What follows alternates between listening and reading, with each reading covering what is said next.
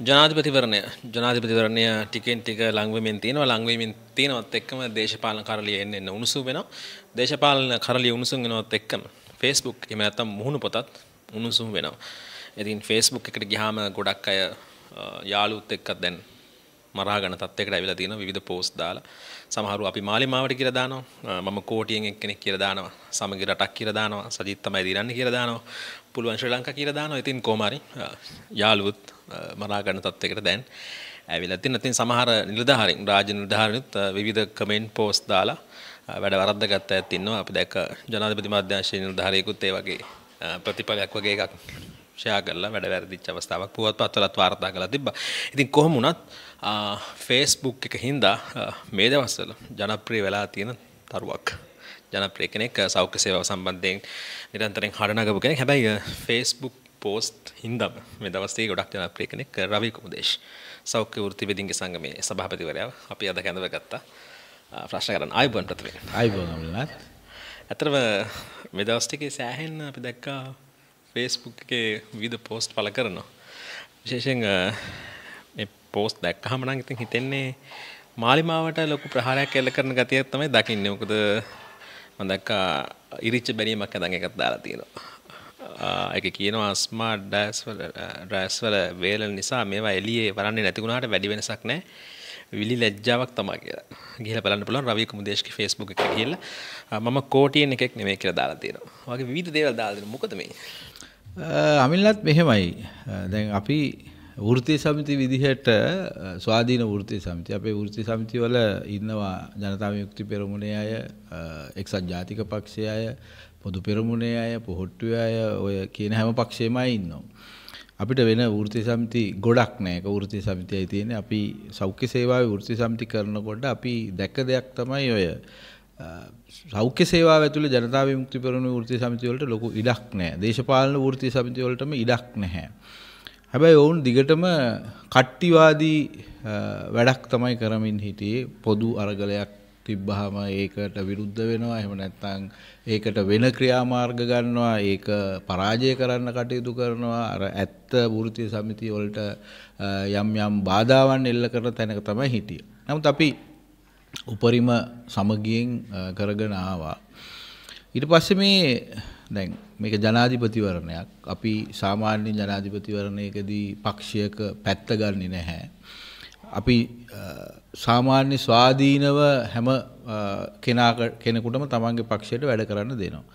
හැබැයි දැන් අපිට නිරීක්ෂණය වෙනවා අර බල්ලව නැට්ට විසින් වඩන තත්ත්වයක්. අපි ස්වාධීන වෙනකොට සමහර අය හිතනවා මේ අපිට මතයක් නෑ එහෙම නැත්නම් අපේ මතය සුළුතරයට හසුරවන්න පුළුවන් කියලා. ඉතින් සමාජ මාධ්‍යෙත් අපි දකිනවා ඒක සමහර වෙලාවට සැලසුම් කරලා ප්‍රචාරණ ව්‍යාපෘතියක් විදිහට මොකක් හරි පෝස්ට් එකක් දැම්මහම ඒ පෝස්ට් එකට සැලසුම් කරලා සමහර අය තමන්ගේ දේශපාලන මතය විතරක් තිබිය යුතුයි කියලා අදහසක් දරනවා. ඉතින් මේක තව විස්තර සහිතව කියනවා නම් අපිට පේන්නේ ජනතා විමුක්ති පෙරමුණ ප්‍රමුඛ කැම්පේන් එකම ගත්තාම පාක්ෂිකයන්ට තමයි ඒගොල්ලෝ කතා කරන්නේ. දැන් රවි කුමුදේෂ්ට ගත්තාම රවි කුමුදේෂ්ට පක්ෂයක් නැද්ද කවුරු හරි වෙනුවෙන් මේ වෙලාවේ කතා කරන්නේ නැද්ද? නෑ මට පක්ෂයක් තියෙනවා ඇත්තට. මම විශ්වාස කරන පක්ෂයක් තියෙනවා. ඒ පක්ෂය ලංකාවේ තියෙනවද නැද්ද කියන එක වෙනම දෙයක්. සාපේක්ෂව මම පක්ෂයක් අවසාන වශයෙන් තෝරා ගන්නවා. හැබැයි අපි වෘති සමිතිය ඇතුලේ සහ ඒ මතවාදය ස්වාධීනව තියන්න ඕන හින්දා අපි ඒක ඉදිරියට ගේන්නේ නැහැ. හැබැයි ඒකෙන් කියවෙන්නේ නැහැ තව කණ්ඩායමක එක විතරක් එන්න ඕනේ කියලා. දැන් අපිට අපේ වෘත්තීය සමිති ව්‍යාපාරයේම සම්පූර්ණයෙන්ම මම දරන මතයට හසුරුවන්න ඕන නම් බලපෑම් කළ හැකිව තිබියදී අපි එසේ නොකරනකොට කවුරු හරි සුළුතරයක් විසින් ඒක හයිජැක් කරනවා නම් ඒකට ඉඩ දෙන්න බෑ. දැන් මම දකින දේ ඒක තමයි. දැන් උදාහරණයකට අපි දැන් මේ රටේ ජනාධිපති අපේක්ෂකයෝ සියලු දෙනාට කිව්වා ලංකාවේ සෞඛ්‍ය ප්‍රතිපත්තිය පිළිබඳව ඕගොල්ලන්ගේ අපිට කතා කරන්න ඕනේ කියලා. එතකොට අපිට ජනාධිපතිවරයා වෙන විදිහකට ඒ සාකච්ඡාව දුන්නා. නමුත් ඒ ප්‍රතිපත්තිය අපිට කතා කරන්න බැරි වුණා. ජනාධිපති අපේක්ෂකයෙක් විදිහට සජිත් ප්‍රේමදාස මහත්තයා එහෙම අවස්ථාවක් දීලා තියෙනවා. හැබැයි ජනතා විමුක්ති පෙරමුණ කරේ එහෙම නෙවෙයි. ඒගොල්ලන්ගේ පාක්ෂිකයෝ ටික ගෙනල්ලා ඒක කතා කරන එක තමයි ඒගොල්ලන්ගේ ක්‍රමය. ඒතකොට දැන් අපිට පේන දේ තමයි පාක්ෂිකයෝ එක්ක විතරනම් රට පාලනය කරන්න යන්නේ ඒ පක්ෂයට සියට සීයක් එකඟ නැති පාක්ෂික භාවයක් නැති අය විරුද්ධ පාක්ෂිකය වෙනවා. ද අපිට එතකොට නිහඬ වෙන්න බෑනේ අපි විරුද්ධ පාක්ෂිකයාගේ භූමිකාව රඟපාන්න ඕන. ඒ නිසා මම තීරණය කරා ඔව් මම මම ඒ පක්ෂේ නෙවෙයි. මම ඒ පක්ෂයට ඡන්ද දෙන්නේ නැහැ ප්‍රතිපත්ති මේ වශයෙන්. මට දෙන්න බෑ. ඒතර මම මේක ප්‍රකාශ නොකර හිටියොත් ඇයි මේ මේ පෝස්ට් අදා නෑ මම ඒක ප්‍රකාශ කළ යුතුයිනේ. ඒක ප්‍රකාශ නොකරොත් සමහර විට හිතයි දැන් අනිත් ජනාධිපති අපේක්ෂකව හිතයි අපේ වෘත්ති ශේෂ්ත්‍රයම ඒ පක්ෂයේ ඉන්නේ කියලා. මොකද එහෙම ඇපියරන්ස් එකක් තියෙනවා. මොකද ඒකට පක්ෂයට ඉඩක් නැහැ. සමාජ මාධ්‍ය ඉඩක් නැහැ. අපේ ඔෆිස් එකක ඉඩක් නැහැ. එහෙම හිතන මේ වෙලාවේ මේ මම බාධා මේ වෙලාවේ මුළු රටම මාලිමාවට නෙමෙයිද? මං විශ්වාස කරන්නේ ඒක. ඒක ඒක තමයි මේ විග්‍රහ කරන්නේ. දැන් අදහස් ප්‍රකාශ කරන අයගෙන් අතිමහත් බහුතරයක් මාලියොක් මාවට. හැබැයි අදහස් ප්‍රකාශ කරන අය බහුතරය කියලා කියන්න කොහෙවත් ඉඩක් නැහැ. මොකද අනිත් අයගේ හඬ වැහිලා තියෙන්නේ. දැන් මං වගේ කෙනෙකුටවත් සමාජ මාධ්‍යයේ මගේ මතය ප්‍රකාශ කරන්න බෑ. ඔබ දකින්න ඇති ඕකේ වැඩි හරියක් තියෙන විරුද්ධව තියෙනවා. හැබැයි එකෙන් කියවෙන්නේ නැහැ. දැන් ඔය ඔක්කොම ටික ගත්තාම 100ක් 200ක් කමෙන්ට් කරලා ඇති. නමුත් 1000ක් 800ක් 3000ක් 4000ක් තව ඉන්නවා මේකට පක්ෂ. හැබැයි ඔවුන් නිරීක්ෂණය කරමින් ඉන්නවා මේකට කමෙන්ට් එකක් දාන්න නැහැ. එතකොට ප්‍රකාශිත ඒවායින් බහුතරේ මාලිමාවට උනාට මම හිතන්නේ ඒක යම්කිසි සැලසුම් සහගත ප්‍රචාරාත්මක එකක්. හැමෝටම අදහස් ප්‍රකාශ කරන්න අයිතිය තියෙන්න ඕනේ. හැමෝගෙම අදහස් වලට ඉඩක් තියෙන්න ඕනේ. විශේෂයෙන්ම දැන් ආණ්ඩුවක් හදන්ඩ ජනතා විමුක්ති පෙරමුණ යනවනං එහෙම නැත්නම් NPP එක යනවනං අපි විශ්වාස කරනවා ඒගොල්ලන්ට විරුද්ධව එහෙම නැත්නම් ඒගොල්ලන්ගේ පාක්ෂිකයන් නොවන අයට සමාජයේ ඉඩක් තියෙන්න ඕනේ. ඒ ඉඩ හදාගත්තේ නැත්නම් ඔබට ලොකු අර්බුදයකට යනවා. මේ වෙලාවේ බිම් මට්ටමේ රැල්ල වැඩ බිමේ ගොවි බිමේ රැල්ල තියෙන්නේ මාලිමාවට කියන එක විශ්වාස කරන්නේ නැද්ද? රැල්ලක් තියෙනවා. ඒ කියන්නේ මම අර කියන විදිහ රැල්ලක් තියෙන්නේ. අදහස් ප්‍රකාශ කරන්නන්ගේ රැල්ල තියෙන මාලිමාවට තමයි. හැබැයි ඒකෙන් කියවෙන්නේ හැමෝම අදහස් ප්‍රකාශ කරනවා කියලා. දැන් මම මේ දිගින් දිගටම කියන්න උත්සාහ කරන්නේ අදහස් ප්‍රකාශ නොකරන අයට සමාජයේ සමාජ ජාලාවල තමන්ගේ වැඩබිමේ ඉඩක් තියෙන්න ඕනේ. මේක ටිකක් අමුතු විදිහේ ත්‍රෙට් එකක්. එහෙම නැත්නම් අනු අමුතු විදිහේ බලපෑමක් කියලා මට පේන්නේ. ඒක ඒක හොඳ නැහැ. එහෙම හැමෝටම අදහස් ප්‍රකාශ කරන්න ඉඩ නැතුව සහ මේ මේ දේශපාලන තන්ත්‍රය ඇතුලේ කඳුරු දෙකයිනි තියෙන්න පුළුවන්. දැන් ජනතා විමුක්ති පෙරමුණ කියන්නේ වාමාංශික අදහසක් දරන පක්ෂයක්. එතකොට විශේෂයෙන්ම ඔවුන්ගෙන් අපි බලාපොරොත්තු වෙන වෙනස තමයි අපි කැමති හෝ අකමැති ආර්ථික වෙනස. ආර්ථික පාලන ක්‍රමයේ වෙනස තමයි ඔවුන්ගෙන් අපි බලාපොරොත්තු වෙන්නේ. ඒතර ඔවුන්ගේ ප්‍රතිපත්ති ප්‍රකාශය තුළ එහෙම ලොකු වෙනසක් මට තේරෙන්නේ නැහැ. ඔබ ඔවුන්ගේ ප්‍රතිපත්ති ප්‍රකාශය කියවද සෞඛ්‍ය ක්ෂේත්‍රය සම්බන්ධයෙන් තියෙන? සෞඛ්‍ය ක්ෂේත්‍රයත් කියවුවා මම. ආර්ථිකය සම්බන්ධයෙන් විශේෂයෙන්ම උනන්දුයි. කියන්නේ මම ආර්ථික විශේෂඥයෙක් නොවුනට දැන් මේ රටේ අවුරුදු 70කට 80කට පස්සේ වෙනස් ආර්ථික ප්‍රතිපත්තියක් දරන පක්ෂයක් ඔවුන් කියලා තියෙනවා නිදහස් සෞඛ්‍ය සේවාව සුරක්ෂිත කරන බවට සහතික වෙලා තියෙනවා. ඔව් නිදහස් සෞඛ්‍ය සේවාව සුරක්ෂිත කරනවා කියලා හැම පක්ෂයක්ම හරි හරි මටසිලුටුවට කියනවානේ හැම කෙනෙක්ම කියනවානේ. හැබැයි කවුරුත් කියන්නේ මේ වෙලාවේ නිදහස් සෞඛ්‍ය සේවාව තියනවද නැද්ද කියලා. මම කියනවා මේ වෙලාවේ නිදහස් සෞඛ්‍ය සේවාව තියෙන 50යි. පෞද්ගලීකරණය වෙලා තියෙනවා 50ක්. ලංකාවේ total health expenditure එකෙන් 50ක් පහුගිය අවුරුදු 15 තිස්සේ මිනිස්සු අතින් වියදම් කරේ. එතුර කවුරුත් මේක දෙන්නේ කොහොමද කියලා කියන්න එපා. දැනටත් 150ක් පෞද්ගලීකරණය වෙලා තියෙන සෞඛ්‍ය සේවාව.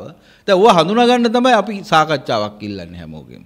අපි අපි ආසයි ඒ ඒ කරුණු කියන්නේ. මොකද මේක දත්ත සාධක මත. ඒ කියන්නේ මේක නිකන් මේ සාහිත්‍යමය වචන වලින් නිදහස් සෞඛ්‍ය සේවාව රකින්න කියලා සාකච්ඡාවකට ආරාධනාවක් ලැබුණේ නැහැ.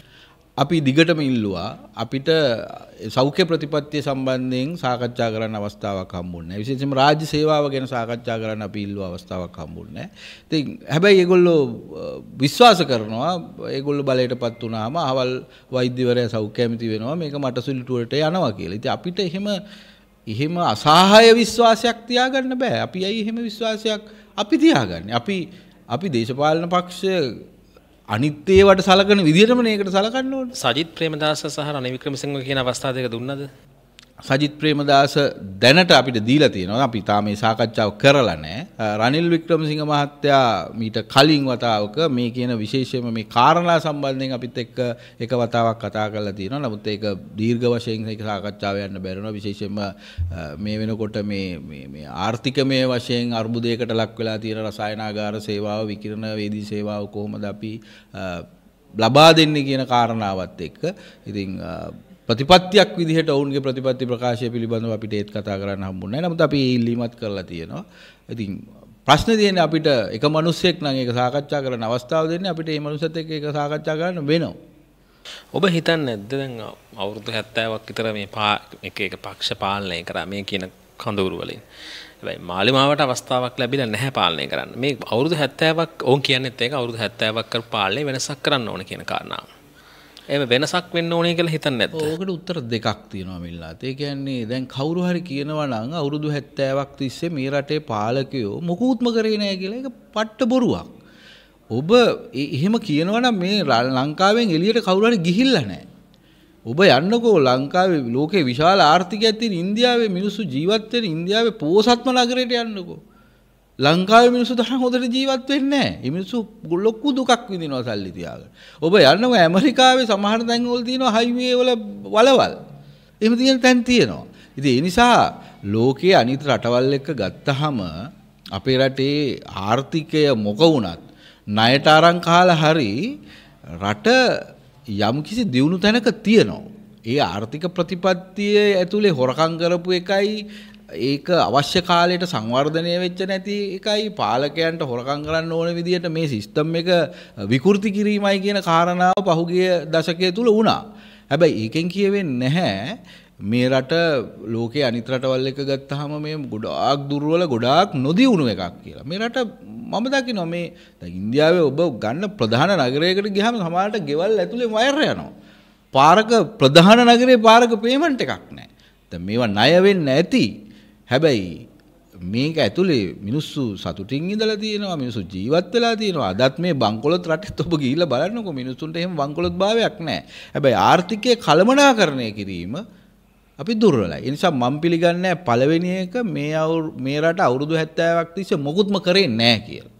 දෙවෙනි එක තමයි මොකද්ද කරන්න හදන වෙනස? දැන් ඒක පැහැදිලි වෙන්න එපායි. උන් කියන හොරකම දූෂණය වංචාව නවත්තනවා කියන එක. සාහිත්‍ය වචනයක් මං කියන්නේ හොරකම දූෂ නෑ නවත්තන්නේ කොහොමද? මට වැදගත් වෙන්නේ මම මට වැදගත් වෙන්නේ මේ විද්‍යාත්මක දත්තය. හැමෝම කියනවා හොරකම දූෂණය නවත්තනවා. නවත්තන්නේ කොහොමද? කොහෙද වෙන්නේ? දැන් හොරු අල්ලනවා, හොරු ගේනවා, හොරුන්ගේ සල්ලි ගන්නවා වගේ කියන දේවල් මම විශ්වාස කරන්නේ නැහැ. ඒ වගේම සදාචාරයෙන් හොරකම් නවත්තනවා කියන එක ලෝකෙ කොහෙවත් පිළිගන්නේ නැහැ. දැන් ලෝකෙම මිනිස්සු මේ පරිණාමිකව ඇත්තක්නේ මිනිස්සු හොරකම් කරන්න කැමති. මිනිස්සු අනුන්ගේ දේවල් අත්පත් කරගන්න කැමති. මිනිස්සු බලය අනුන්ගෙන් උදුරගන්න කැමති. ඒකනේ මේ දේශපාලනය ඇතුළේ වෙන්නේ. ඒතර මේ තුන මෙසේ තිබියදී කවුරු හරි කියනවා නම් අපි ඇවිල්ලා මම හොරකම් කරන්නේ නැහැ ඊට පස්සේ මගේ පල්ලෙහාක් කෙනා හොරකම් කරන්නේ නැහැ ඊට පස්සේ එහෙම වෙන්නේ නැහැ. ලෝකයේ හොරකම හැමෝම කරනවා. මම ඕකට දෙන හොඳම උදාහරණය තමයි ලංකාවේ තියෙන නීතිය ඇමරිකාවෙත් දාලා ඇමරිකාවේ තියෙන නීතිය ලංකාවට ගෙනල්ලා දැම්මනම් අපිට හොඳට තේරෙයි ඇමරිකන් කාරයා කොච්චර හොරකම් කරන්න කැමතිද කියලා. ඕක එංගලන්තෙට දැම්මත් සිංගප්පූරුවට දැම්මත් එහෙමයි. ඒ අතින් බලනකොට ලංකාවේ මිනිස්සු හොඳයි. මේ තියෙන නීතියයි මේ තියෙන සිස්ටම් එකයි දැන් ඔබ හිතන්න පාරක ගිහාම නිකන් සරල එකක් පාරක ගිහාම ට්‍රැෆික් සාජන් ඇල්ලුවොත් ඔබට එක නීතියක් මට එක නීතියක් තව කෙනෙකුට තව නීතියක්. මේ නීති හැබැයි ලෝකෙ වෙන රටක එහෙම නෑනේ. නොදියුණු රටක පවා පාරේ අතල්ලලා පොලිස් රාලහාමිලා මේ වාහන අල්ලලා දඩ ලියලා මාර අමාරුවකින් නෑනේ. මීට වඩා හයිවේ වල මොකුත්ම නැතුව අර කැමරා වලින් ඔය සාමාන්‍ය නොදියුණු රටවල් වල පවා කැමරා හතරකින් අල්ලනවා. ඉතින් මේ සිස්ටම් ගේන්න එක ගැන කතා කරන්නේ නැත්තම්. හොරකම් නවත්තන්න දැන් සෞඛ්‍ය සේවාවේ හොරකම් ගැන අපි කතා කරනවා. දැන් කෙහෙලි රමුක් කැල ඇමති වෙලා හිරේ ගියා. දැන් හොරකම් නැවතුනාද? කවුරු හරි තාන් ඉදී යා නෑ යා කියන්නේ දැන් මරු හරි කිය. එහෙම නෑ. මේ සිස්ටම් එක චේන්ජ් කරනවා නම් ඒ සිස්ටම් එකේ හොරකම් කරන තැන මේ සිස්ටම් එක චේන්ජ් කරන්න කොතන හරි පටන් ගන්න බෑ. ඉතින් ඒක තමයි. කොතනින්ද පටන් ගන්න? පටන් ගන්නේ සිස්ටම් වලින්නේ.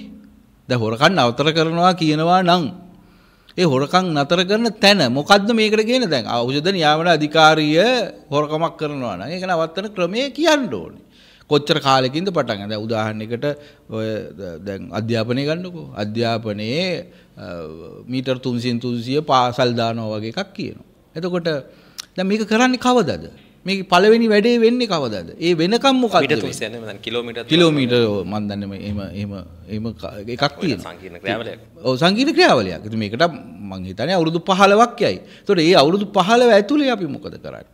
මං කියන්නේ මේ ප්‍රතිපත්ති ප්‍රකාශය විතරක් නෙවෙයි මේ හැම ප්‍රතිපත්ති ප්‍රකාශයක්ම අපි හැමදාම කිව්වේ මේ ප්‍රතිපත්ති ප්‍රකාශන අපිට පුළුවන් නම් ඡන්දෙන් පස්සේ නීත්‍යානුකූලව අභියෝගයට ලක් කරන්න. ඔවුන් ඒක කියන හැබැයි මාලිමා ඔවුන් ප්‍රසිද්ධියෙන් ප්‍රකාශ කරන ඔවුන්ගේ ප්‍රතිපත්ති ප්‍රකාශය සම්බන්ධයෙන් ප්‍රතිපත්ති ප්‍රකාශයේ නීතියක් බවට පත් කරනවා. ඔය වැඩි තියෙන ඒකේ නීත්‍යානුකූලව ටයිම් ඩියුරේෂන් එකක් නැත්තම් ඒක කරන විදිහක් නැත්තම් කරන කාලයක් නැත්තම් මං වෙනවා නිදහස් සෞඛ්‍ය සේවාව සුරක්ෂිත කරනවා. ඉතින් දැන් තියෙන නිදහස් සෞඛ්‍ය සේවාවද ඒ කියන්නේ දැන් තියෙන 50ක් සුරක්ෂිත වෙලා. ඒතර ඉතුරු 50 ගැන අපි කතා කරනවද? ඒකට කොහෙන්ද සල්ලි හම්බෙන්නේ? ඒ කියන කාරණා අපි කතා කරන්න ඕනේනේ. ඒතර එහෙම කතා නොකර ඔය කියන ඔය කියන විදිහේ ක්‍රමවේදයක් කාගාවත් නැහනේ. කාගාවත් නැහැ. ඉතින් මම කියන්නේ අඩු ගානේ අපි කතා කරන්න ඕනේ. මිනිස්සු මොකද්ද කරන්න ඕනේ? මිනිස්සු මොකද්ද කරන්න ඕනේ? මිනිස්සු මේවා ගැන ප්‍රශ්න කරන්න ඕනේ. දැන් ප්‍රශ්නේ තියෙන්නේ මේවා ගැන ප්‍රශ්න කරන්න ඉඩක් නැහැ. දැන් මේ ප්‍රශ්න කිරීම බයස් වෙන්න බෑනේ. සජිත් ප්‍රේමදාසගේ ප්‍රතිපත්ති ප්‍රකාශය අපි විවේචනය කරනවා නම් රනිල් වික්‍රමසිංහගේ ප්‍රතිපත්ති ප්‍රකාශය විවේචනය කරනවා නම් අනුර කුමාර දිසානායකගේ ප්‍රතිපත්ති විවේචනය කරන්නත් මේ රටේ මිනිසුන්ට සමාන ඉඩකඩක් තියෙන්න ඕන. ප්‍රතිපාදක කරනවා. ඔබේ පෝස්ට් එකේ කමෙන්ට් එකක තියෙනවා රවි ඔයා රාජිතක කෙනෙක් කියලා. ඔව් දැන් දැන් ඔය පෝස්ට් එක ගන්නකෝ. දැන් මම රාජිතක කෙනෙක්ද නැද්ද කියන එක කෙසේ වෙතත් මේ මෑත කාලේ රාජසේන රත්නත් එක්ක බොහොම ළඟින් වැඩ කරලා තියෙනවා. මම ඔහු සෞඛ්‍ය ඇමති වෙලා ඉන්න කාලේ. හැබැයි රාජසේන රත්න විතරක් නෙවෙයි නිමල් සිරිපාල් සිල්වත් එක්කත් ළඟින් වැඩ කරලා තියෙනවා. දැන් ඉන්න සෞඛ්‍ය ඇමතිවරයාත් එක්කත් අපි ළඟින් වැඩ කරනවා. මොකද ඇමති කෙනෙක් පත් කරාට පස්සේ අපේ වගකීම තමයි ඔහුව නිවැරදි ට්‍රැක් එකේ ගෙනියමින් අපේ වැඩේ ඉස්සරහට ගෙනියන එක.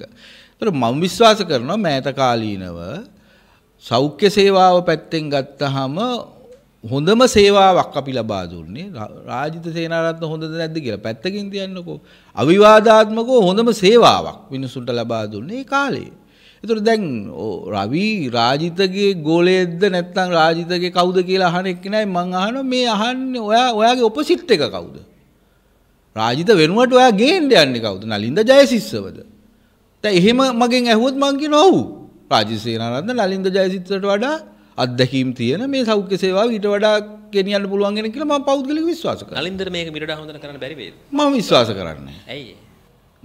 මෙහෙම සෞඛ්‍ය සේවාව කියන එක ඇතුලේ මේ වැඩේ කරන්න විශාල අත්දැකීමකුත් ඕනේ මේ මොහොත. මේ මොහොත පාවිච්චි කරන්න. දැන් මම මම හිතනවා ජනතා විමුක්ති පෙරමුණ වගේ පක්ෂයක් හොඳට ආර්ථිකය තිබිච්ච එහෙම නැත්නම් මේකේ අර්බුදයක් නැති වෙලාවක ආවනම් ඔවුන්ට සමහරට ඔවුන්ගේ ඇත්ත ප්‍රතිපත්ති ඉස්සරහට දාගෙන යන්න පුළුවන්. ඇත්ත ප්‍රතිපත්ති ගේන්න බැරුව ඔවුන් අර්බුදයකට ලක් වෙනවා. දැන් ජාත්‍යන්තර මුල්‍ය අරමුදල එක්ක උන්ට වැඩ කරන්න වෙනවා. එතකොට ඒක ඔවුන්ගේ ප්‍රතිපත්ති වලට මෙහාට ඇවිල්ලා කරන එකක්. එතකොට ඇත්ත ඒ පක්ෂයෙන් ඇත්තටම අපේක්ෂා කරන පිරිසක් ඉන්නවනේ. ඒ පිරිසගේ බලාපොරොත්තුව කඩ වෙනවා ඉක්මනින්ම. ඒ නිසා මම හිතන්නේ කෝටියක් ඉන්නවා කිව්වට ඒ ඒ කෝටිය ඇතුලේ ඉක්මන් නොවෙනවා නම් හොඳයි කියලායි මගේ අදහස. මොකද මම මම පක්ෂයක් විදිහට වුණු විවේචනය කරන්නේ නැහැ. නමුත් ඔවුන් තව තව මැචුරිටි එකට එනවා නම් මේ රට මේ යන විදිහත් එක්ක මේකේ සමහර දේවල් විකුණන්න වෙනවා උන්ට. උන්ට විකුණන්න වෙනවා සමහර ඒවා. ඒතකොට ඒ විකුණනට උන්ගේ ප්‍රතිපත්තියත් එක්ක ඒක ගැටෙනවා. මේක කෙලින් කරන්න IMF කියන ඒවා කරන්න වෙනවා. එතකොට ඔවුන්ගේ ප්‍රතිපත්තියත් එක්ක ගැටෙනවා. එතකොට ඔවුන් කෙරෙහි තිබ්බ අර වෙනස් දැක්ම වෙනස් බැල්ම වෙනස් වෙලා ඒකත් නිකන් අර මේ ලංකාවේ තිබ්බ සාමාන්‍ය දේශපාලන පක්ෂයක් ගානටම අවතරණය වෙනවා. එතකොට අපිට වෙනස් පක්ෂයක් විපක්ෂේවත් නැති වෙනවා. අඩු ගානේ විපක්ෂයේ හරි එහෙම පක්ෂයක් ඉන්න එක හොඳයි කියලායි මම නම් හිතන්නේ. ඔබ කියන්නේ මාළිම විපක්ෂය දෙන්න ඕනේ කියලා. ඇත්තටම මම කැමති ඒකට ප්‍රබල විපක්ෂයක් මේ රටේ තිබ්බනම් මේ රටේ ආණ්ඩු හරි මාර්ගය ගෙනියන්න පුළුවන්. හරි එතකොට වෘතිය සමිතියක් දේශපාලනය ක්‍රියාකාරය කටයුතු කිරීම සම්බන්ධයෙන් මොකක්දක් වුණ අදහස. මෙමයි ලංකාවේ ඇත්ත වෘතිය සමිති කියන්නේ දේශපාලන පක්ෂයක් වගේම සංවිධිතව වැඩ කරන ආයතනයක්. ඒ කියන්නේ දැන් මගේ වෘතිය සමිති ව්‍යාපාරය ගත්තාම අපි වාර්ෂිකව නිලවරණ තියෙනවා. වාර්ෂිකව නිලවරණයෙන් අපි සමාජිකයන්ගේ බහුතර කැමැත්තෙන් පත් වෙන්න ඕනේ. එතකොට සමාජිකයන්ගේ අවශ්‍යතා අපි තෘප්තිමත් කරන්න ඕනේ. ඊට අමතරව සේවාවේ අවශ්‍යතා අපි තෘප්තිමත් කරන්න ඕනේ.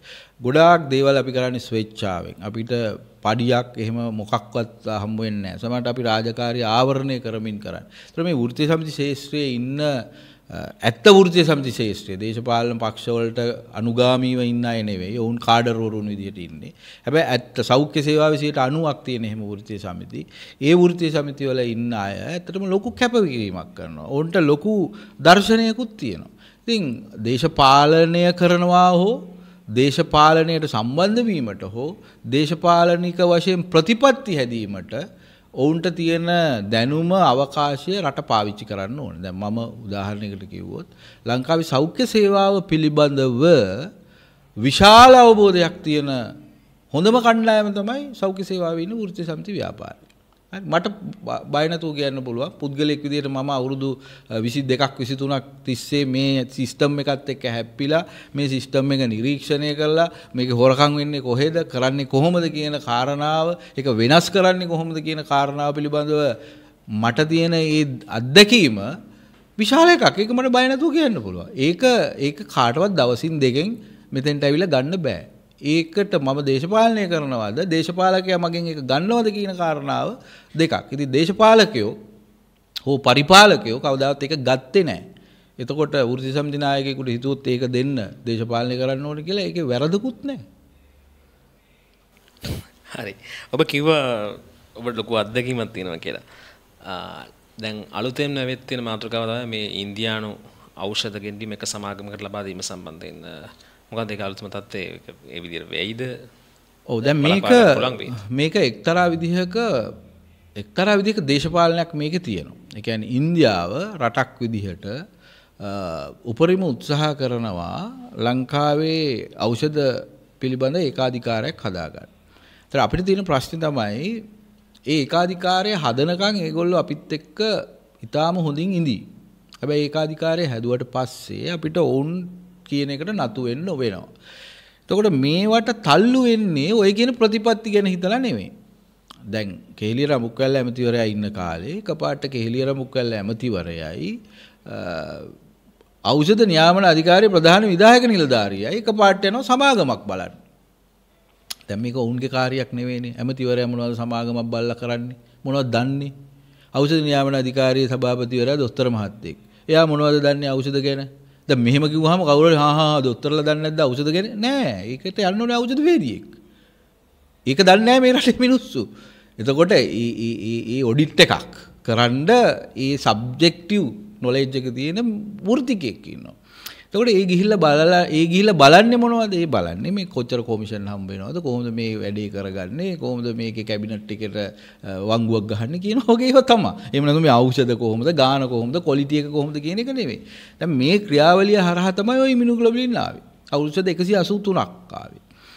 දැන් ඒ ක්‍රියාවලියම නැවත නැවත නැවත නැවත ඒ බලපෑම එනවා. එතකොට දැන් රමේෂ් පති නැමතිවරයා ගියේ නෑ ඒ ගමන හොඳ වෙලාවට. ඒකට ගියේ මේ සෞඛ්‍ය සේවා නියෝජ්‍ය අධ්‍යක්ෂ ජනරාල්වරේ. මම හිතන්නේ නැහැ රමේෂ් පතිර නැමතිවරයාට මේ හදිසිය හොරකම් කළා මේ තමන්ගේ අනාගතය විනාශ කරගන්න ඕනේ කියලා. නමුත් මේ බලපෑමට ඔහුත් නතු වෙනවා කොහේ හරි. ඔහු ඔහු දන්නේ නැතුව ඒකට නතු වෙනවා. එතකොට ඒ ක්‍රියාවලියම නැවත වතාවක් පහුගිය කාලේ ආයෙ කැබිනට් පත්‍රිකාවක් මගින් වුණා. එතකොට මේ රටේ තියෙන ඊළඟ අරුබුදය තමයි දැන් මේවා තමයි ප්‍රතිපත්ති වල කතා කරන්න ඕනේ. අපි මොනවා කතා කරත් වැඩක් නැහැ අමිල්නාත් කැබිනට් පත්‍රිකාවක් දාලා ඒ කැබිනට් පත්‍රිකාව අනුමත වුණාට පස්සේ මේ රටේ තියෙන ඕනම හොරකමක් නීතියානුකූල එකක් බවට පත් වෙනවා. දැන් එතකොට ඒ ඒ ඒ වගේ තත්ත්වයක් වෙනස් කරන්න ඉදිරියේදී කොහොමද? අපි බලාපොරොත්තු වෙන්නේ ඔන්න හොරකම් නවත්තනවා නම් ඒක. ඒක ක්‍රමයක්. අමාත්‍ය මණ්ඩල පත්‍රිකාවකින් අනුමත වුණාට පස්සේ ඒක නීතිය. එතකොට දැන් ලංකාවේ සෞඛ්‍ය නීතිය ඇතුලේ ඖෂධයක් ගන්නෙ කොහොමද? ලියාපදිංචි වෙන්නේ කොහොමද? ඒ ඖෂධය ගෙන්නන්නේ කොහොමද? තරංගකාරී මිල හදාගන්නේ කොහොමද? ප්‍රසම්පාදන ක්‍රියාවලියම ඔකට ලොකු ගයිඩ්ලයින් ගොඩාක් තියෙනවා. හැබැයි ඇමතිවරයා දැම්මොත් නෑ මේ මොකුත් නැතුව මට මෙන්න මේ සමාගමෙන් ඖෂධ ගන්න ඕනේ කියලා මොනවා හරි හේතු ටිකක් දාලා අමාත්‍ය මණ්ඩලය අනුමත කරොත් අර නීති පෙන්නලා අපිට අරක ආගිව් කරන්න බෑ. එතකොට ඔන්න ඔන්න රටේ හොරකම් කරන එක විදියක්. දෙවෙනි එක දැන් ඔබ දැක්ක කෙහෙලිය රබුකල් ඇමතිවරයාගේ දූෂිත ගනුදෙනු අපි හෙළිදරව් කරනකොට ඇමතිවරයා යනවා පාර්ලිමේන්තුවට ගිහිල්ලා අපේ නම් කියලා තර්ජනය කරනවා. අපිට ඒකට උත්තර දෙන්න බෑ. පාර්ලිමේන්තුව වරප්‍රසාදයක් කියලා එකක් තියෙනවා. එතකොට අපි බය වෙනවනේ සාමාන්‍ය සෞඛ්‍ය සේවකයෙක් විදිහට.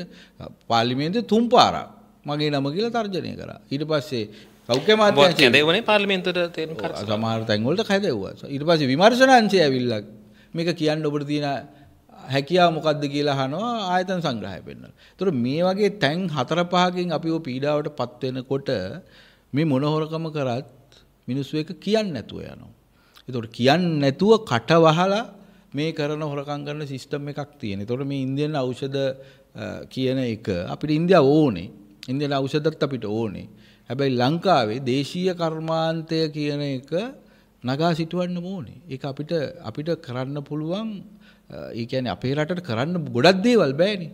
අපිට තෙල් නෑ අපිට අරව මේවා නෑනේ. අපිට තියෙන්නේ මානව සම්පතනේ. එතකොට අපිට ක්වොලිටි මානව සම්පතක් තියෙනකොට මේ වගේ හෙල්ත් සෙක්ටර් එකේ මේ වගේ නිෂ්පාදන තමයි කරන්න පුළුවන්. ඉතින් බොහොම අමාරුවෙන් මේවා ගොඩ ඇවිල්ලා තියෙනකොට ඔය එක ඉන්දියන් සමාගමකට පුළුවන් ලංකාවේ තියෙන ඖෂධ දේශීය ඖෂධ නිෂ්පාදන කර්මාන්තශාලා සියල්ල වහලා දාන්න. මොකද ඒගොල්ලොන්ට එක දවසක පුළුවන් නිකන් දෙන්න ඖෂධ. ඒ කියන්නේ ඒගොල්ලන්ගේ නිෂ්පාදනයේ හැටියට ඒක ලොකු දෙයක් නෙවෙයි. ඉතින් කොහොමද මේ තරඟ තරඟේ කරන්නේ? කවුරු හරි කියයි ඉතින් නිකන් දෙනවනේ හොඳයි. හැබැයි හැමදේම දෙන්නේ නැහැ. හැමදේම දෙන්නේ නැහැ. මේ ටික වහලා දැම්මට පස්සේ ඒගොල්ලෝ මේ නිකන් දුන්න එකේ ගානත් එක්ක ඊළඟ එකේ කියනවා. ඒ නිසා මේ දේශීය කර්මාන්තය පිළිබඳව ලොකු අවබෝධයක් තියෙන්න ඕනේ මේ කැබිනට් පේපර් හදන අයට මේ තීරණ ගන්න අයට මේ වෙලාවේ. ඒක දීර්ඝ කාලීනයි. ඊළඟට මේවායේ තරඟකාරී මිල හදන එක පිළිබඳව ලොකු අවබෝධයක් තියෙන්න ඕනේ. ඉතින් මේ දෙකම අපේ රටේ ඖෂධ සම්බන්ධයෙන් නැතුව ඒකාධිකාරයකට යට කරන්න නැවත නැවත උත්සාහ කරනවා. ඉතින් ඒක තමයි අපි දකින අර්බුදය ඖෂධ සම්බන්ධයෙන් සහ අනිකුත් ප්‍රතික්‍රියක සහ උපකරණ සම්බන්ධයෙන්. ඔබට පාර්ලිමේන්තුවේ මේ ආසාවක් නැද්ද? දැන් නම් ටිකක් එහෙම දැනෙමින් තියෙනවා. මොකද මේ වෙන සමහර දේවල් දිහා දැක්කහම අපිට හිතෙනවා මේවා වෙනස් කරනවට වඩා හුදු රැලි තමයි මේ හමන්නේ. ඒ කියන්නේ මේ පරිවර්තනය වෙනවා කිව්වට ආයේ එන්නේ ඒ වගේම රැල්ලක්. අපි ඒ රැල්ලට ගොඩ වෙලා ඒ රැල්ල දිගේ ගිහිල්ලා ටික කලක් බලාගෙන ඉඳලා අපි වෙනස් වෙන්නේ නැති වුණාම ආයේ අපි පාරට බහැලා ආයේ අපි තව ආණ්ඩුවක් පත් කරගන්නවා. මට මට තාම තේරෙන්නේ එහෙම නොවන මේ පරිවර්තනය පිළිබඳව ලොකු අවබෝධයක්. විශේෂ සෞඛ්‍ය සේවාව ගැන, අධ්‍යාපනය ගැන විශාල පරිවර්තනීය උමනාවක් තියෙනවා ලෝකෙත් එක්ක අපි. ඉතින් ඒ වගේ දේවල් කිරීමේ හැකියාව තියෙනවා කියලා විශ්වාසයක් තියෙන නිසා එහෙම අවස්ථාවක් තියෙනවා නම් ඒකේ ගැටලුවක් නැහැ. ඒ වෙනුවෙන් ආරාධනාවක් කරොත් ඔබ ඒක පාර ගන්න පක්ෂකින්. සමහර විට බාර ගන්න පුළුවන්. නමුත් ඒ වෙනුවෙන් කියලා විශේෂ දේවල් කරන්න නම් මම සූදානම් නැහැ. මොකද මම බොහොම සරල විනෝදකාවී ජීවිතයක් ගත කරන්නේ. මට අර ජනතාව ඉදිරියේ අර සරන් ඇඳගෙන එහෙම නැතුව රඟ පාගෙන අමුතු විදියට ඇවිදලා අමුතු විදියට කලිසම් වල සාක්කුවට අත දාගෙන එහෙම ඉන්න නම් බෑ. මම දැක්ක Facebook එකේ දාලා තියෙන දවසක නටනවා වෙලින් වල ඒවටත් ගොඩක් ඉතින් ඒ එහෙම එකක්වත් දාන්න බෑ දැන්. දැන් අපි අර අහවල් පක්ෂයේ නෙමෙයි කිව්වට පස්සේ අපි නටන එකක් දැම්මම බයිනවා මිනිස්සු. ඉතින් එහෙම එහෙම එකක් ඒකට මුණ දෙන්න ඕනේ මං කියන්නේ. මිනිස්සු ඒකට මුණ දුන්නේ නැත්නම් ඒ හදන අපි කියමුකෝ ආණ්ඩුව හැදුවයි කියලා. ඒ ආණ්ඩුව ඇබ්බැහි වෙනවා. එහෙම තමන් කියන කියන එක හොඳයි කියන කණ්ඩායමක් විතරක් ඉන්න ඕනේ කියලා. එහෙම ලෝකේ කොහෙවත් ආණ්ඩුව හදලා නැහැ. හරි. ඔහොම කිව්වට වැඩට ගියාම වැඩ වැඩබීමට හරි ගියාම ඔබ වැඩබීමේ ඉන්න බහුතරයක් මාලිමාව නෙමෙයිද ආයෙත් මට කියන්නේ වැඩබීමේ දැන් මගේ සමාජිකයෝ ගත්තත් මගේ සමාජිකයන්ගෙන් 20ක් 30ක් හැමදාම බිම් මට්ටමේ ඔය ධනතා විකෘති පෙරමුණ පෙරටුගාමී පක්ෂය වගේ අයව නියෝජනය කරනවා. ඒක හැමදාම එහෙමයි. දැන් උදාහරණයකට අර ඔබ දන්නවා ඇති විද්‍යාවිදි කියන්නේ අර බෙල් කර්ව් ෂේප් එකේ අර කොන් දෙකේ ඉන්නවා එක්ස්ට්‍රීමිස්ලා. හරි. කට්ටියක් හයිලි ධනපති කට්ටියක් හයිලි නිර්ධනපන්ති මැද තමයි සෙග්මන්ට් එක තියෙන්නේ. හැබැයි මේ මේ මේ මේ එක්ස්ට්‍රීමිස්ලා තමයි හැම වෙලෙම වොයිස් එක දෙන්නේ. එතකොට උන්ගේ වොයිස් එක වැදගත් ඒ ඒ ලෙවල් එකට. හැබැයි මේක බහුතරය වුණොත් අන්න එතෙන්දී වෙන විකෘතිය ප්‍රශ්නයක්. ඉතින් ඒ නිසා වැඩබිමේ ඔව් ඉතා පැහැදිලි වැඩබිමේ අපි ගත්තොත් වැඩිම සද්ද තියෙන්නේ NPP එකට තමයි. හැබැයි එහෙම කියලා ඒක බහුතරය කියලා කියාගන්න අපි සූදානම් වෙනවා නම් හෝ ඒක ගැන හරියට මනින්න නැත්නම් ඒක ගැටලුවක් තියෙනවා. ඉතින් අපිට ඒක මනින්න අවශ්‍ය නැහැ. අපි දේශපාලඥයෝ නෙවෙයි නිසා. නමුත් මම තදින් විශ්වාස කරනවා ඒකට වඩා වෙනස් මතයක් දරන අයට මීට වඩා ඉඩක් තියෙන්න ඕනේ. ඒගොල්ලොන් එහෙම සප්‍රෙස් කරන්න. එහෙම නැත්නම් ඒගොල්ලෝ එහෙම පීඩාවටපත් කරන්න. ඒගොල්ලන්ගේ කටවල් වහන්න ප්‍රචාරාත්මක ව්‍යාපෘති ක්‍රියාත්මක වෙන එක ඇතුලේ රටට හොඳක් නෙවෙයි වෙන්නේ. ඊටම බැටු විෂමතා. නිරන්තරයෙන් කතා බහ කරන දෙයක් ඔබත් කතා බහ කරනවා. මේ බැටු විෂමතාව සම්බන්ධයෙන් මේක දේශීය විසඳුමක් කවුරුර අපේක්ෂකෙක් ඉදිරිපත් කරලා තියෙනවද? දැන් රජයේ සේවකේ පඩි වැඩි කරනවා කියලා ජනාධිපතිවරයා ඕක ජනාධිපතිවරයා වර්තමාන ජනාධිපතිවරයාට වැටු විෂමතාවය ඉවත් කිරීම සම්බන්ධයෙන් එයා පත් කරපු කමිටුව හොඳ වාර්තාවක් දීලා තියෙනවා. අපි විශ්වාස කරනවා අපි කාලාන්තරයක් තිස්සේ ඉල්ලුවා ලංකාවට ජාතික වැටු ප්‍රතිපත්තියක් ඕනේ. මේ ප්‍රතිපත්තියේ අරයා කොහෙද මෙයා කොහෙද අරයා කොහෙද කියන එකට වඩා මේ ජාතික වැටු ප්‍රතිපත්තියක් ඇතුලේ යම්කිසි නිර්ණායකයක් හදාගන්න ඕනේ. අපි මේ නිර්ණායකය පිළිබඳවත් විශාල අවධයක් දුන්න එක තමයි ලංකාවේ තියෙනවා ශ්‍රී ලංකා සුදුසුකම් රාමුව කියලා උසස් අධ්‍යාපන අමාත්‍යාංශයෙන් නිකුත් කරපු එකක්. ඒ වගේම ඒ ඊට පල්ලෙහා ලෙවල් එක ගත්තාම NVQ කියලා ලෙවල් එකක් තියෙනවා තාක්ෂණික සේවාවන් කරන අයට. ඒතකොට මේ දෙක පාවිච්චි කරොත් අපේ රටේ ඕනෑම රැකියාවකට එන කෙනෙකුගේ මූලික සුදුසුකමක් තියෙනවා. මේ මූලික සුදුසුකමට 150ක ලකුණු දීලා ඉතුරු 50 යාගේ ඉතුරු කැපවීම විශේෂත්වය වගේ දේවල් වලට දීලා සිස්ටමැටිකලි ඕනෙම කෙනෙක්ගේ වැටුප තීරණය කරන්න පුළුවන්. එතකොට අපි ඒ වගේ යෝජනාවක් කරාම මම දන්නේ වෙන කවුරු හරිත් ඒක කරාද කියලා අපි සතුටු වෙනවා හිටපු වැටුප් කොමිසම දීලා තියෙන වාර්තාවේ තියෙන්නේ ඊට සමාන යෝජනාවක්. හැබැයි ජනාධිපතිවරයා මොකද කරේ? ඒක හැමම තියෙද්දී දේශපාලන පොරොන්දුවක් විදිහට මේ හිටි හැටියේ තැපැල් ඡන්දය ඉලක්ක කරගෙන ඔන්න පඩියක් වැඩි කරා කිව්වා. දැන් පඩිය වැඩි කරන්න යා ඉන්න බෑ ජනාධිපති විදිහට. ඊට පස්සේනේ මේක කරන්න ඕනේ. ඒතර මේක සම්පූර්ණයෙන් අර වැටුප් කොමිසමේ ප්‍රතිපත්තිය විකෘති කළා වැටුප් කොමිසමේ බෙල්ලමිරි කළා. මේ වෙලාවේ ඡන්දෙට වැටුප් වැඩි කරගන්න ක්‍රමයක් හදාගත්ත එකක්.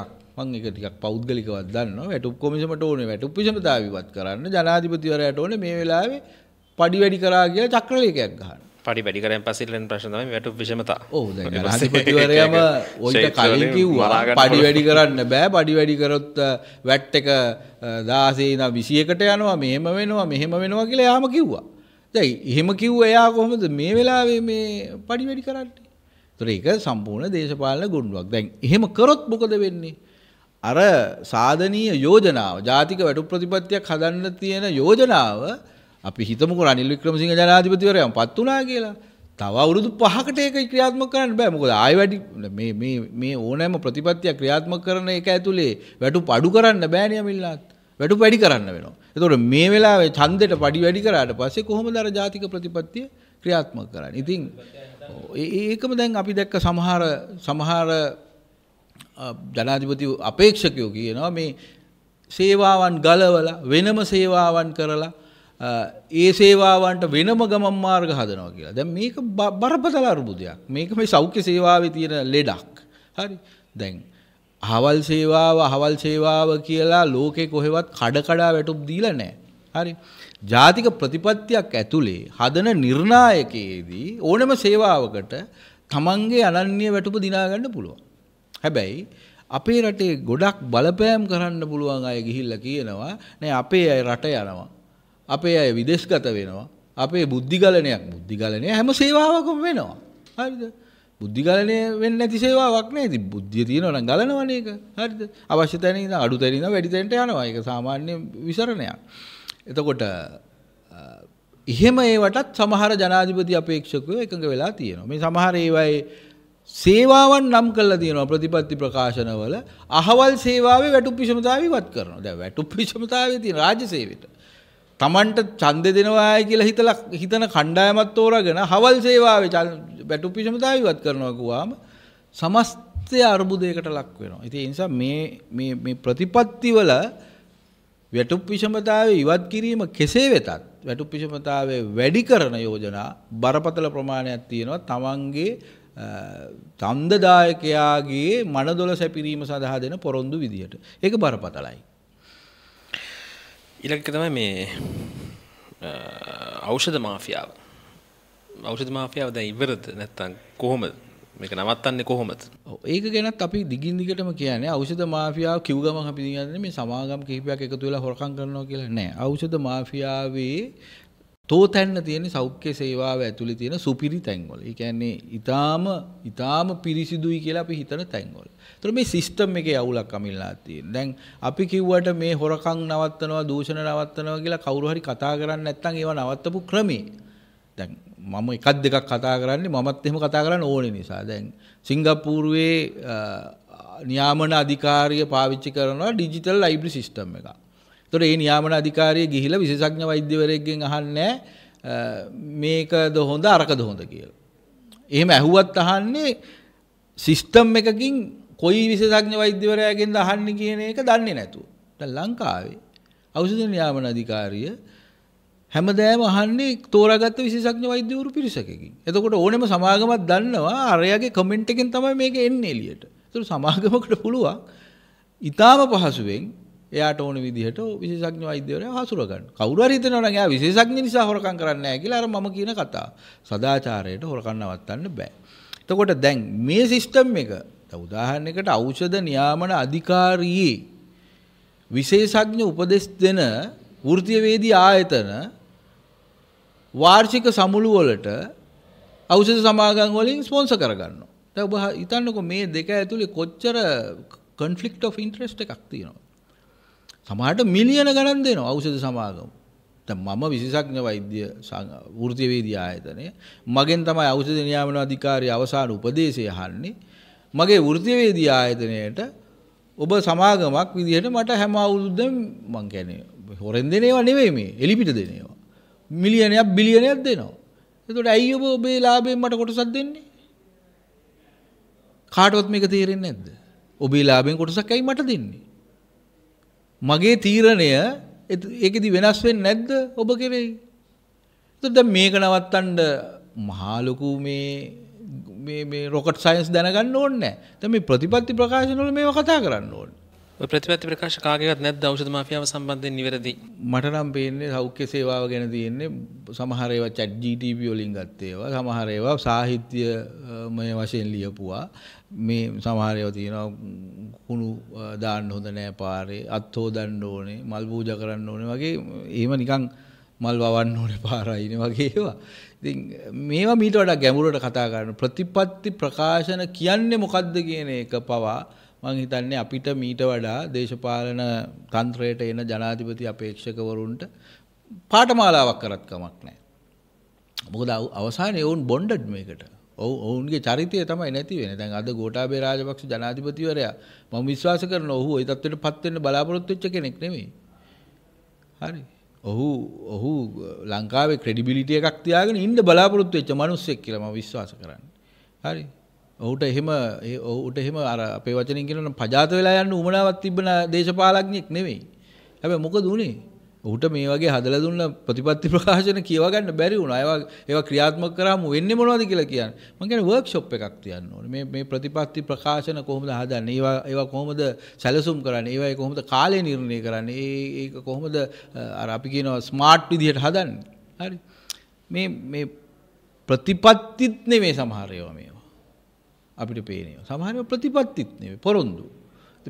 පොරොන්දු ප්‍රකාශනය කියලා මේ සමහර ඒවාට කිව්වනම් ඒකේ ලොකු වැරද්දක් නැහැ. දින 100 වැඩපිළිවෙල ගෙන වගේ තමයි. ඔව්. ඇත්තටම දින 100 වැඩපිළිවෙලෙන් යමක් කරා. අපි දින 100ෙන් කරන්න බැරි දේවල් ගොඩක් ඔව් ඒක හරි. දින 100ෙන් කරන්න බැරි ඒවා ගොඩක් ඒකේ තිබ්බා. හරි දැන් ගොඩක් දේවල් කතා කරා ෆේස්බුක් එකෙන් පටන් අරන් මතන්නේ ඖෂධ ප්‍රතිපත්ති ෞෂධ වංචා සම්බන්ධන තන්ත වසන වශයෙන් කතා කර අපි ඉතින් අවසානයකට එමු අවසාන වශයෙන් ඔබ විවිධ දේවල් සම්බන්ධයෙන් හඬ නගපු කෙනෙක් ස්වාධීනව හිටගෙන විවිධ දූෂණ වංචා හෙළිදරව් කරා කොවිඩ් සමයේ ඉඳන් ලොකු පරිවර්තනයක් කරපු කෙනෙක් ඡන්දය ළඟ එනවා.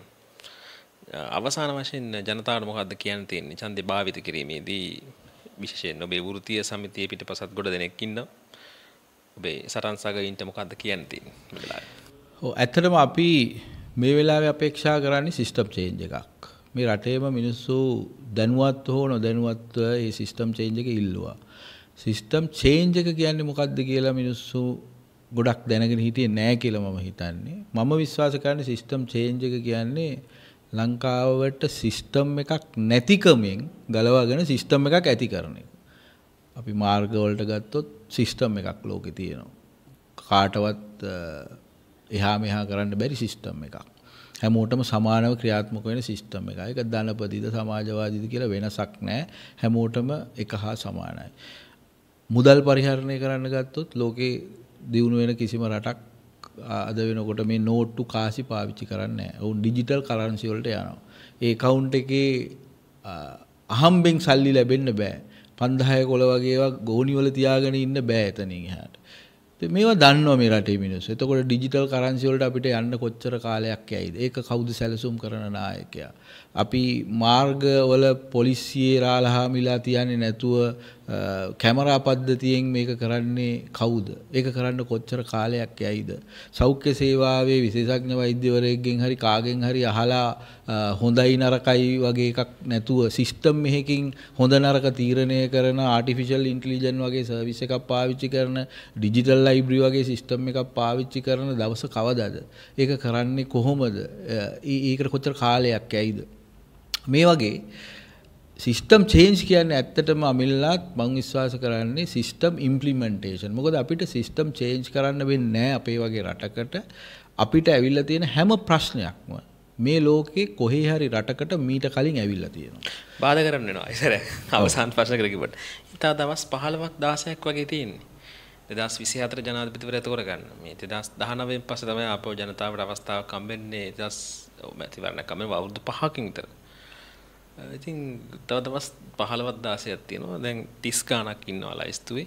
මේ පාර ප්‍රධාන පෙරේ අපේක්ෂකයෙකු කොට දෙනෙක් ඉන්නවා. විශේෂයෙන් පාර්ලිමේන්තු මන්ත්‍රීවරුන් විදිහට කොට දෙනෙක් ඉන්නවා. ජනාධිපතිවරු ජනාධිපති සාකච්ඡාට ඉල්ලපු අය කිහිප දෙනෙක් ඉල්ලනවා. එහෙම කෙනෙක් ඉන්නවද? මට පේන්නේ නැහැ එහෙම අවබෝධයක් තියෙන කෙනෙක් ඉන්නවා කියලා. හැබැයි ඔව් අපිට කරන්න තියෙන්නේ අවසාන වශයෙන් මේ ඉන්න ප්‍රධාන තුන් දෙනා ඉන්නේ අපි මොනවා කිව්වත් ඒ තුන් දෙනා එක්කෙනෙක් තෝරගන්න. මම නිර්දේශ කරන්න යන්නේ ආවලා කියලා. මම දන්නේ ඔබේ ප්‍රශ්නයක ප්‍රධාන තුන් දෙනා කවුද? අනුර කුමාර දිසානායක, සජිත් ප්‍රේමදාස, රනිල් වික්‍රමසිංහ. ওই තුන් දෙනා තමයි ඉන්නේ. ඒක මං හිතන්නේ ඕන කෙනෙක් පිළිගන්න කියලා. ඔබෙන්ම ගන්න ඕනේ දැවෙම. හරි. එතකොට මේ තුන් දෙනාගෙන් කාටද ඡන්දේ පාවිච්චි කරන්න ඕනේ කියලා මම කියන්න යන්නේ නැහැ. ඒක ඒක මගේ කාර්යභාරය නෙවෙයි. හැබැයි දැන් මේ තුන්දෙනා දිහා බැලුවාම මේ සිස්ටම් එක චේන්ජ් කරන උවමනාව මේ ප්‍රතිපත්ති ප්‍රකාශන එකකවත් ලොකුවට නැහැ. ඒක තමයි අපි වෘත්ති සමිති ව්‍යාපාරයක් විදිහට ඒගොල්ලන්ව ප්‍රශ්න කරන්න යන්නේ.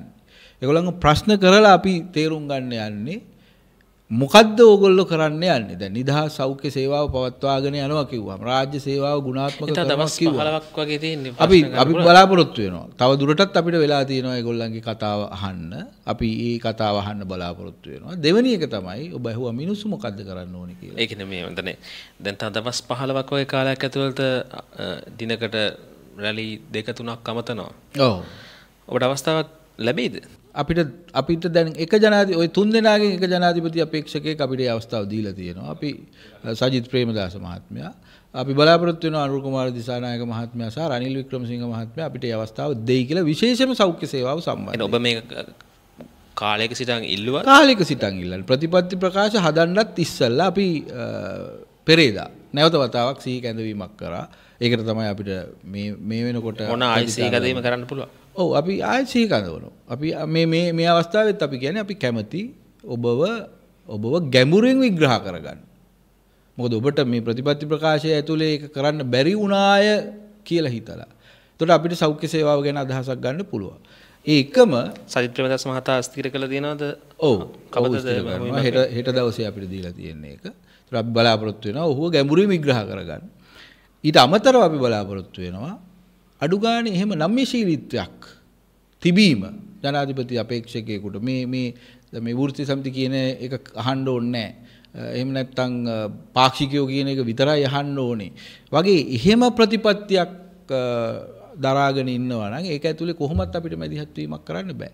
ඒක බරපතලයි. ඒ ඒ නම්‍යශීලීත්වය ඇති කර ගැනීමත් මං හිතන්නේ පුරවැසිය විදිහට අපේ වගකීමක්. එහෙම නැතුව අපි තෝරාගත්ත පක්ෂය ඒකටම අපි කඩේ ගිහිල්ලා ඒකේ කිසිම විවේචනයක් කරන්න නැතුව හිටියොත් අපි ගෝඨාභය රාජපක්ෂ ජනාධිපතිතුමාව පත් කරා වගේම ඊට කලින් රැලිවල අපි රැලි හදාගත්තා වගේම අපි හැමෝටම අවසාන වශයෙන් වෙන්නේ අපිම කරපු එකට කනගාටු වෙලා අර අර පැස්බරා ඔළුවේ ගහගත්තා වගේ ඒකට විරුද්ධ වෙන්න. ඉතින් නිසා අපි මේ සමහර කාරණා විවේචනාත්මකව දකින්නේ ඒ කියන මතවාදයත් එක්ක පුද්ගලිකව අපිට දැක්මක් තියෙනවා. මට වෙනම දැක්මක් තියෙනවා. මගේ සමාජිකයන්ට වෙනම දැක්මවල් තියෙනවා.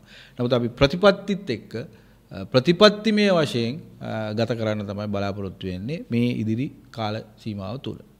හොඳයි. මම බලන් ඉන්නවා ඔබ ඉතිරි දවස් පහළව දාසේ මොකද කරන්න කියලා මම දන්නේ මිනිස්සුත් බලන් ඉදී ඔබේ Facebook එකත් නිරීක්ෂණය කරන්න පුළුවන් ඒ වගේම තමයි සජිත් ප්‍රේමදාස මහතා හමුවෙන් පස්සේ අපි ආයි සාකච්ඡාවකින් එක්කමු ඔව් අනිවාර්යයෙන්ම අපි අපි අපි කැමති අපේක්ෂකයෝ තුන්දෙනාගේම ප්‍රතිපත්ති ප්‍රකාශන එක්ක කතා කරන්න නමුත් අපිට අවස්ථාව ලැබෙන එකත් එක්ක අපි නැවත හමු වෙමු. හොඳයි එහෙනම් බොහොම ස්තුතියි ආරාධනා පිළිඅරන් පැමිණියට. බොහොම ස්තුතියි.